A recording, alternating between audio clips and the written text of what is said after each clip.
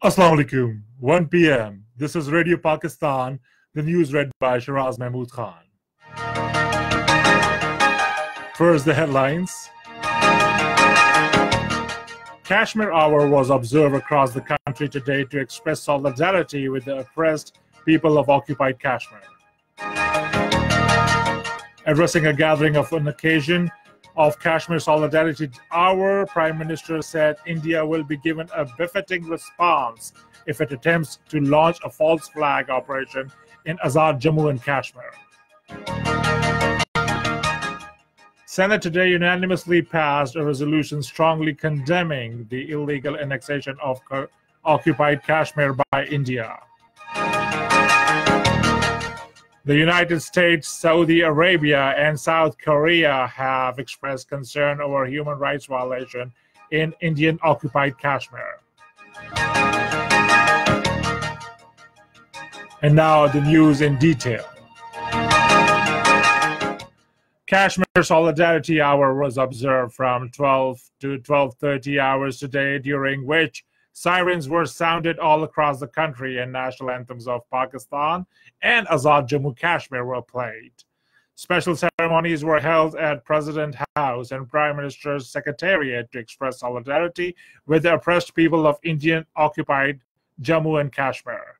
Ministers, MNAs, officials, public servants, students, and school and colleges, universities, and people from various walks of life gathered outside the two executive offices, waving both Pakistani and Kashmiri flags.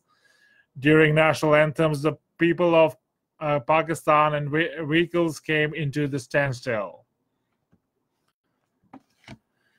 Prime Minister Imran Khan has said that India will be given befitting response if it attempts to launch a false flag operation in Azad Jammu and Kashmir. Addressing to the main ceremony in Islamabad today, to express solidarity with Kashmiris, the Prime Minister said that there are reports that India might resort in Operation Azad Jammu and Kashmir to divert attention from inhuman situation in occupied Kashmir. Imran Khan said Pakistan army is fully prepared to thwart any external aggression.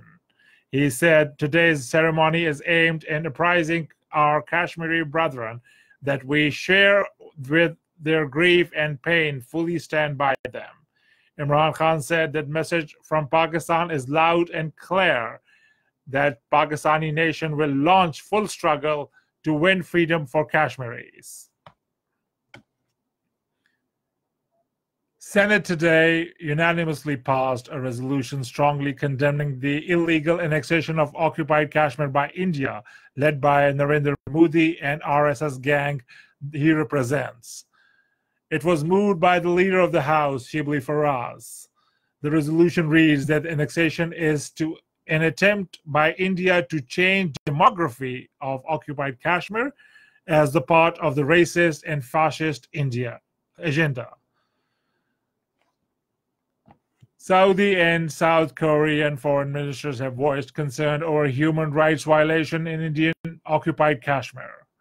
They expressed the sentiments during their conversation with Foreign Minister Shah Mahmood Qureshi in a telephonic conversation, apprised them about the latest situation on the occupied valley.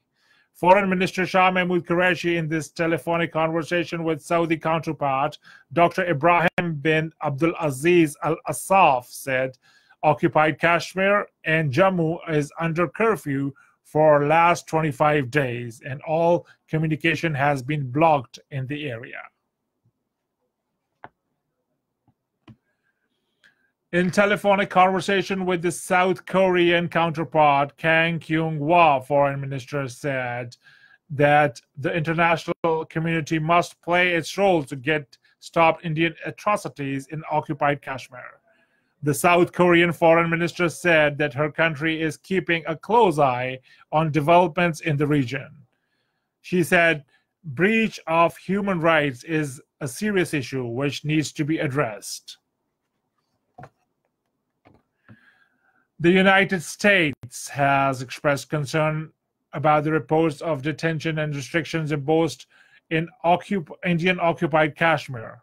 Speaking to a media in Washington, State Department spokesman Morgan Ortagus said that the United States is watching the situation in Jammu and Kashmir closely. The spokesperson said that Washington continues to recall for calm and restraint, including the rhetoric. She said United United States encourages solving issue between Pakistan and India through dialogue, adding the Washington is concerned about forced detention and curfew in occupied Kashmir. Occupied Kashmir has become a big jail and hell of inhabitants as they are facing severe shortages uh, essential commodities due to the continued strict curfew and other restrictions imposed by the Indian government. Residents of Valley are facing acute shortage edibles, baby food, life-saving drugs, Hundreds and thousands of Indian troops continue to keep people confined to their homes to stop their staging of anti Indian demonstrations. Despite India's brutal measures, keep defying the curfew and other restrictions are staging protests on daily basis to express their res- resentment against the Indian occupied Kashmir. And that is the end of the news. For more news and analysis, log on to our website, radio.gov.pk, and also watch live video streaming of our bulletin on the link facebook.com slash Radio Pakistan News Official.